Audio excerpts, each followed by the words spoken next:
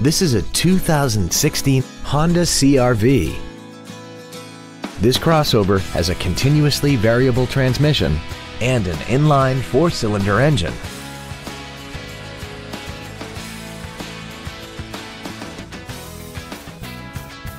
All of the following features are included. A low tire pressure indicator, fog lamps, an anti-lock braking system, aluminum wheels, keyless ignition, and daytime running headlights.